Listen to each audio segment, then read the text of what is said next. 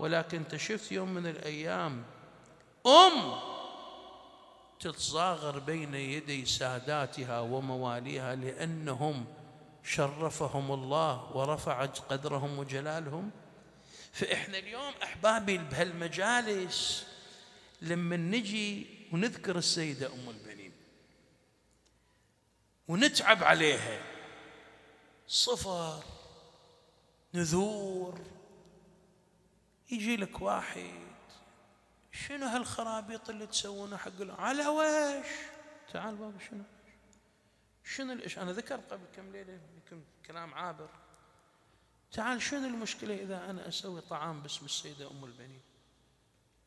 وشنو المشكلة إذا أنا اليوم زين أجيب أكل نذر باسم السيدة أم البنين وأخصص لها مجلس وأقول يا جماعة باكر المجلس يتبرك باسم أم البنين اللي عنده حاجة اللي عنده طلب اللي عنده نذر يقدر يشارك. والبعض يعتزي على هالشيء.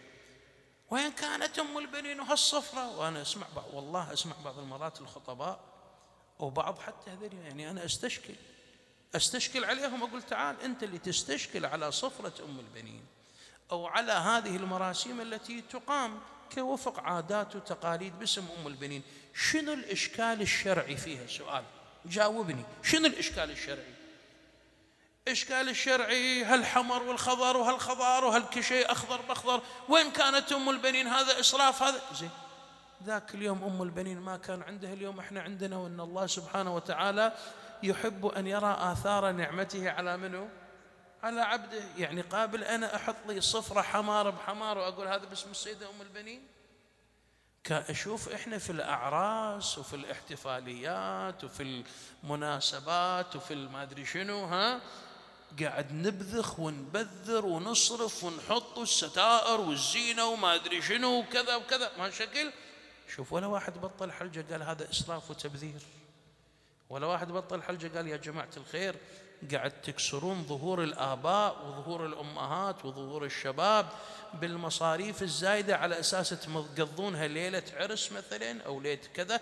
ما حد تكلم وقال يا جماعة هذا إسراف وما يجوز وحرام عليكم تسوون. الحين صار الحرام.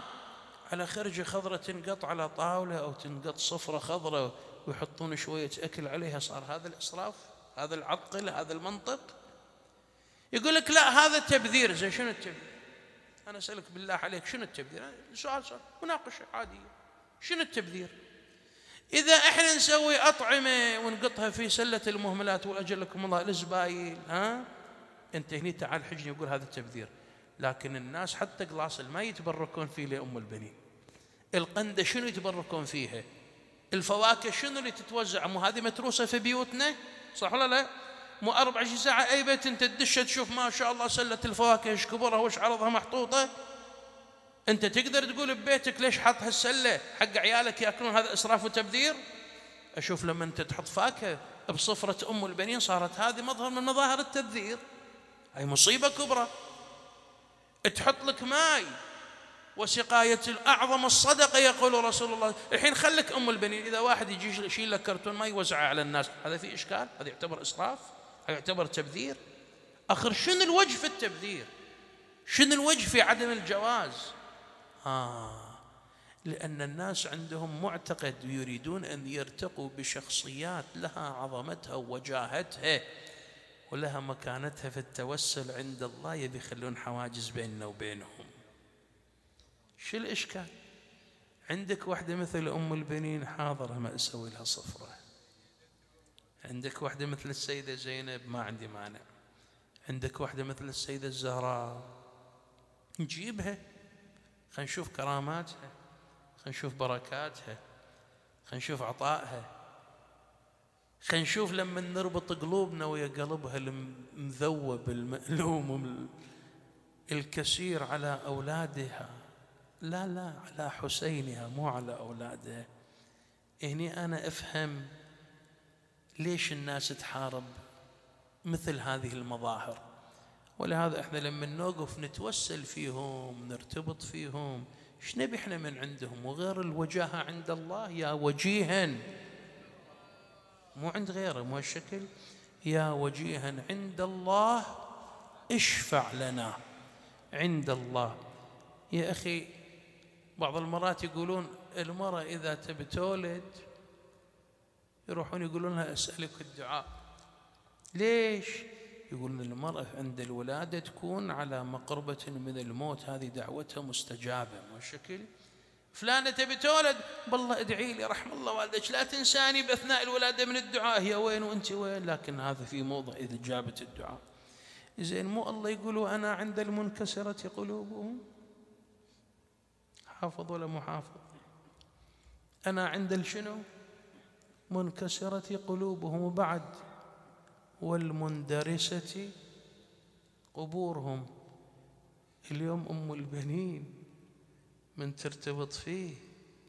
ما ترتبط بقلب مكسور؟ ترتبط ولا ما ترتبط؟ وإذا ما ارتبطت بقلب مكسور ترتبط بشنو؟ بقبر مدثور مو هالشكل ومندرس ليش انت تشوف اليوم اكو قبة على قبر ام البنين؟ حتى زيارة ما تقدر توقف وتزور. من بعيد يخلونك تزور. أصلا ما يخلونك توقف دقيقة. أنا هالسنة كل ما حاولت ما قدرت أوقف أقرأ فاتحة. امش امش. طلعت قلت له سيدتي بعد سامحيني البقيع ما أطبها. قلت له بعد ما أقدر أطب البقيع سيدتي مو أنا من أجي أنقهر ما قدرت أوصل ما قدرت أبكي ما قدرت أسلم ما قدرت أزور. أنا يلي أحبك أنا اللي أموت فيك. ما أقدر ما أقدر. لكن خلي حزني مع حزنك ينطبق سوية ها؟ خليني سيدتي يم البنين حزني مع حزنك واحد. انت حزنتي على العباس وحزنتي على عون وحزنتي وحزنتي وحزنتي. وخلي حزني أنا هم ويا حزنك على الحسين. ولهذا يصل لها كرامة ولا ما يصل لها كرامة؟ يصل لها مقام ولا ما يصل لها مقام؟ سلام الله عليك.